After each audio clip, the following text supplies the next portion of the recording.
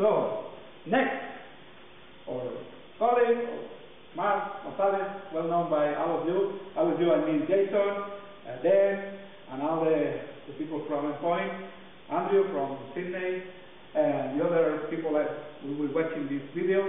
Uh, Marc has been doing uh, a demo case for Liquid Galaxy. There are something like four different demos. Um, please, up to you, explain it. Hello, uh, my name is Marc. Uh, I studied computer science degree and master's, and now I'm doing my PhD in uh, signal processing. And I'm going to explain the project that I've developed this year for the Google Scope. Uh, it's called Panoramic Interactive Live Tracker, uh, built for the prep. And we have developed a different use case uh, to get the ability to add uh, different use cases or external use cases to my, my own project. The first of the projects that I will explain is the ground races and the air races. The first scope of this project was to get the, the capability to display synchron and asynchronous data over the, the Liquid Galaxy. But uh, we discovered that because uh, hard work, because uh, it's you know so difficult to find open APIs to get this information. So at the end, what we have done is to get uh, well to display asynchronous data from different kind of web pages or uh, information that we, we have been able to, uh, to. So uh, if we enter into the ground races or the A races, they, are, they look similar. You will see that the internet connection here is uh, pretty slow. So the point is we can see the different kind of competitions. It were similar in the ground races or in the A races. So if we enter in one of them, we'll be able to see the task uh, on this competition. Uh, to explain this uh, more accurately, um, in air competition, the the people who organize the the, the competition gives to the participants some kind of geolocalization um, object that stores every second information about the longitude, latitude, timestamp, and other kind of data about all the track of the participant. It means that if a task takes something like two or three hours, we'll have something like uh, 200,000 uh, lines of information. So what we are doing is to uh, mix all this information and compress it to be able to display it into the galaxy. So in the in the form, It really is because we just have to uh, send the the zip file with all the information about the participant and the system will do the trick will decompress all this information stored in in files and create all the localizations for every uh, participant in every moment of the of the race.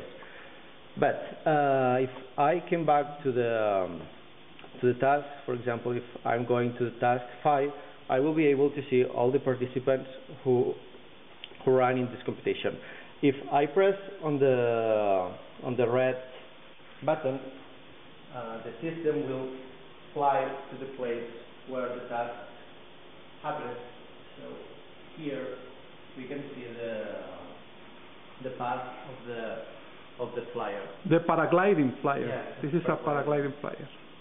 So I was saying is we press one of the participants, we are sending the, the path of the paragliding participant into the liquid galaxy and Furthermore, we can add more participants if we press the other button. So we can add as many participants as we want. Let me press more participants. As you can see, we can add as much participants as we want. Moreover, if we press, for example, the rotation, inside the path of the of the participant. Well, it's well, amazing uh, but at the end uh, it works more or less. It's uh, pretty slow, but this is doing an orbit yes, around the path. it tries to find the center of the of all the paths that the participant has then it starts to rotate. We have three participants now on the screen. Yeah. And now if you try to move the Space Navigator, uh, you know that possibly you can go far away because the Space Navigator is fixed. And if we want to uh, gain the control, it's just we have to stop and then we can continue moving. Let me move a little. Yeah. Because this is the more interesting thing. You are fully 3D on the path that the paragliding flyer gone across the. This is the. What is it? No, this Uh, is Piedra. Piedrahita. Paco, recuerdos.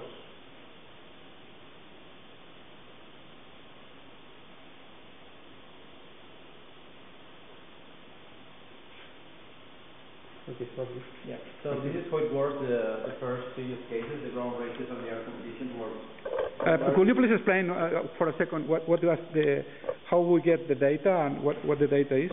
Yeah, uh, the people who create the competitions give to the participants uh, geo geolocation uh, item. I don't know the exact name of that.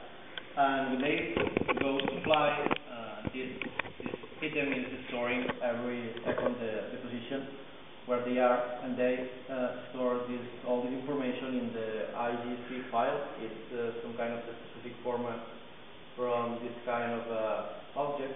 Uh, now what we are doing is get this, these files and extract all the information that we want and compressing to, to being able to display into the into the galaxy. Because we tried to uh, display these 200,000 points, but uh, the system goes really slow, so so we we had to uh, compress all this all this information for and for that we can see that the lines are uh, are really striped. They are not doing the, the core work something like that. I hope that I answer your Uh, the, the, the company that helped us was Artribu, Artribu? yes yes we have get the data from Air Tribune and from Paco Ibáñez who and it was used the to organize some kind of competition. Open Iberico Liga Nacional as a sample. Okay, continue please. Okay. So yeah, where I was saying, uh, we have visited these two use cases, the ground races and the air races. And now uh, I'm going to explain the IDVT, the uh, Industrial Drone Inspection Visualization Tool. Uh, we have developed this this demo use case with uh, our colleagues from EMAC who has sent us the, the data to do that. And what we are doing is collect the information about um, industrial electric towers that will be appear. Here we are, and mix into a, a file system storage with different image about the the towers. So if we want to check one of these towers, we can approach to one of them slowly, like for example this one, and it will appear the image about uh, the tower, the image that, that they have they have taken. So if we want, for example, to another tower, uh, it will happen that, for example, uh, we don't have data about that, so we won't be able to see that. We are just displaying information about the towers that that we have information. Or, for example, if you go really close to a to a, to a tower, the, information will be replied in the in the other screen. So at this point, we can decide if we want to here something. Uh, we can decide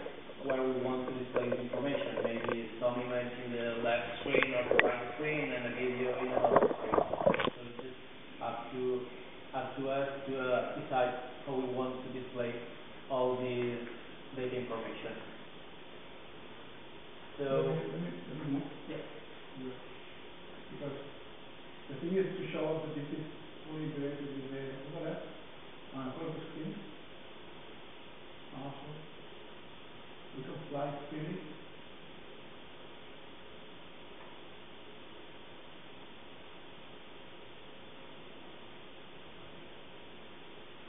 Only when we approach to one power the cash information, the information will show up.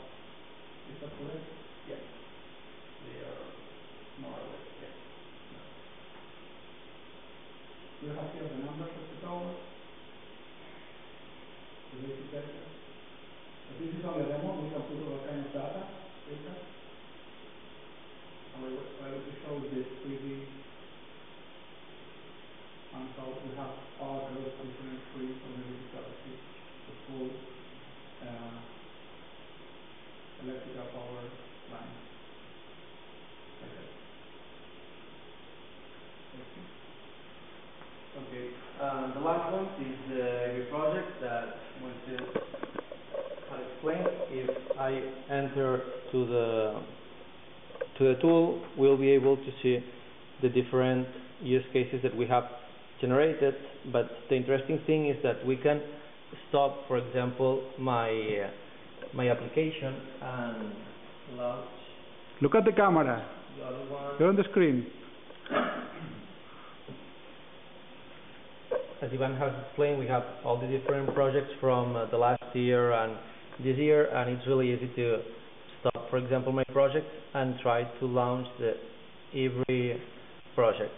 So now if we wait a while to get the information, uh, yep, here we can see the the every project running, and we have the same uh, features that Moises has explained us. We can decide the the grid of the size and say, okay, go to Valle Tavares. If I press, I can modify.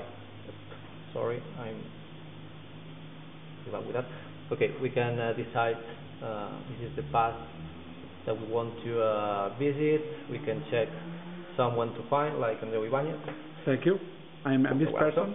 and then just uh, press the play button. So here we can see the, the path that the drones will will follow, and we are sending this this information to my system. So if I close uh, this now and I go to uh, to my project, I can stop again the Ivory and I can launch the field project again and uh,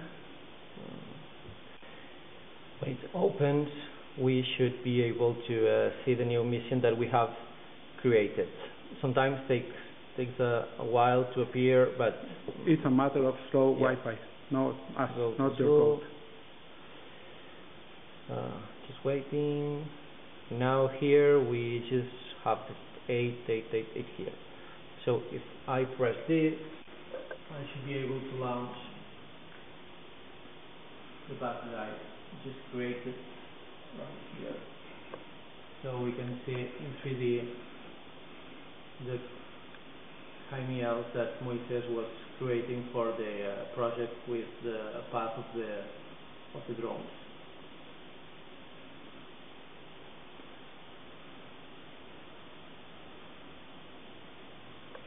So explain what, what are the different colors? Uh, different colors are uh, every color is from uh, one drone and it represents the the path of uh, Because you have selected that this mission, uh, it has to take uh, yeah, that space. yeah, You launch four four, five- four different, yeah, four different drones, and those, every color is the, the area, the path that one of the drones will, will follow. yeah Okay. and that's all. So the good point is that if at the future we find uh, another project that works similar like Moises, like uh, creating a different kind of KMLs, we can just add it here in this platform and automatically we'll, we'll be able to uh, add these KMLs to our system and launch into our Liquid Galaxy uh, platform. And that's all. Thank you for your time. Uh, explain, uh, spend two minutes only explaining the fourth one. I, I know that it's not the, the other, the fourth case. No, you don't, you don't have to demo it, at least, at least explain what, because you have developed, you have spent time on this.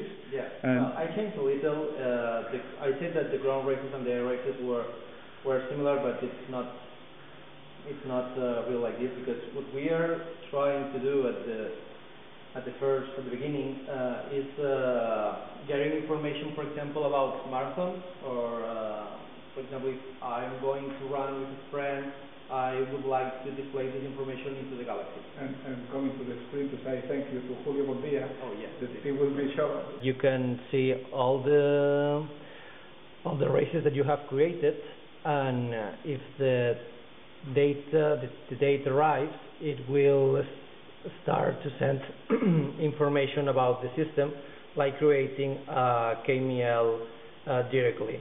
But um, I have this in the in the uh, in the iPhone, and it's not uh, it's not what we we want No, do here. you're wrong. in, uh, You're no? wrong. You're wrong. What do you mean? Because this is for Google? No, you're wrong. You- Apple users are one of the biggest users from Gu- Google platforms. So, for example, if we want to uh, go to one of the races, we can see a set of participants, like amazing participants called waiting, still waiting. No, but really, I, what I want. Well, No. this is the participants of the the circuit. Uh, the point is, if you are going, if, you are inside of one of the races and you go to a the race for a while, uh, you will store in information with one of these participants if you, if you are one of them. And this is more or less what I've done with that. So I think that's all. Okay. So, thank you.